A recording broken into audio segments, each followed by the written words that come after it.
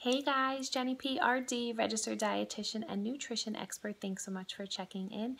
This series is all about healthy pregnancy.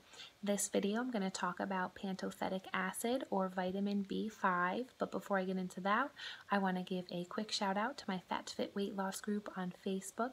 Encourage you to say hi and comment below any nutrition questions you have. I'd love to connect with you and make a video as well as encouraging you to please subscribe to my channel and turn on notifications so you don't miss any upcoming tips or tricks from me, your girl Jenny. So, vitamin B5 or pantothenic acid can help you mamas who are cramping and have leg cramps during pregnancy. It is recommended that we get 6 milligrams per day during pregnancy and we do not exceed 100 milligrams per day.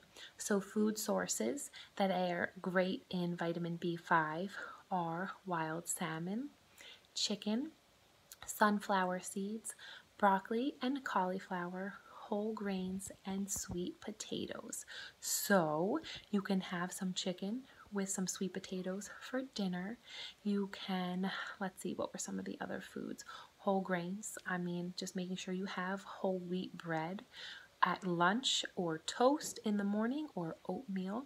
So there are definitely ways to make sure you are getting vitamin B5 to help with those leg cramps and other cramping. But I also want to encourage you to make sure you do take a prenatal vitamin, talk with your doctor to see which one is great for you. Thanks so much for checking in and stay tuned for more videos.